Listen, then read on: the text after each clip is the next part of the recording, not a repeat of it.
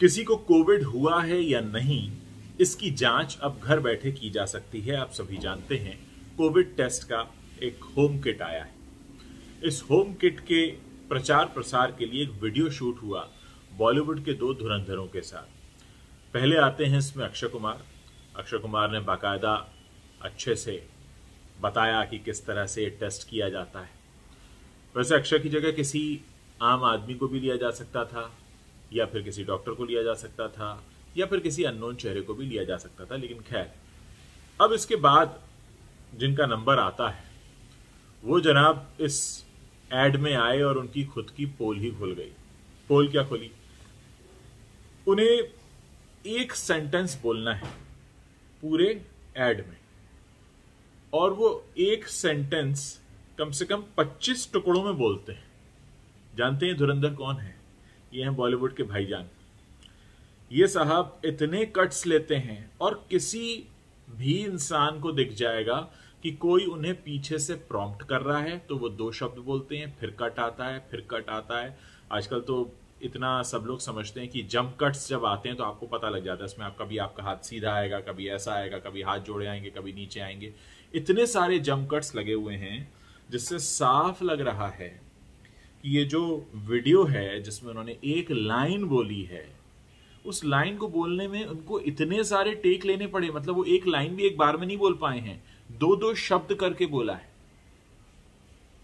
तो ऐसा है हमारा बॉलीवुड ऐसे लोग बनते हैं हीरो जो एक सेंटेंस एक लाइन एक बार में बोल नहीं सकते। वो बनते हैं करोड़ों लोगों के रोल मॉडल आप उनके जैसा बनना चाहते हैं क्या? कि आप जिस चीज़ के लिए जाने जाते हैं, आप कैमरा शाय तो है नहीं, आप फ़िल्म एक्टर हैं सो कॉल्ड बहुत बड़े स्टार हैं, और आपको एक लाइन नहीं बोल सकते आप, कैमरे के सामने खड़े होकर। आप भूल जाते हैं, आपको प्रॉम्प्ट करना पड़ता है। वैसे कई बार मेरा वास्ता पड़ा है, ऐसे कई सारे बॉलीवुड के नामचीन लोगों से जो कैमरे के सामने खड़े होकर एक पूरी लाइन को बोलने में आधा आधा घंटा लगा देते हैं क्योंकि उनका असिस्टेंट उनको पीछे से प्रॉम्प्ट कर रहा होता है। जैसे मान लीजिए एक सेंटेंस है, पहले मैं दिल्ली जाऊँगा, फिर मैं मुंबई जाऊँगा और उसके बाद मैं कोलकाता आऊँगा। तो ये सेंटेंस कैसे बोलेंगे? पहले मैं दिल्ली जाऊँगा, फिर मैं मुंबई जाऊँगा, उसके बाद मैं कोलकाता जाऊँगा। ये एक लाइन पूरी इतने टुकड़ों में बोलते हैं और ये सब मेरी आँखों का देखा हुआ है। मैं किसी का सुना हुआ नहीं बता रहा हूँ।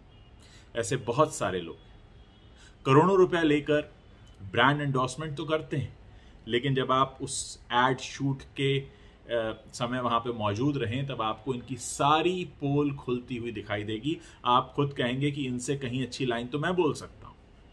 तो ये है असलियत, ये है वो सच, जो आपको कोई नहीं बताएगा। जानते तो बहुत सारे बॉलीवुड जर्नलिस्ट हैं इसके बारे में, लेकिन सबको अपने संबंध अच्छे रखने होते हैं।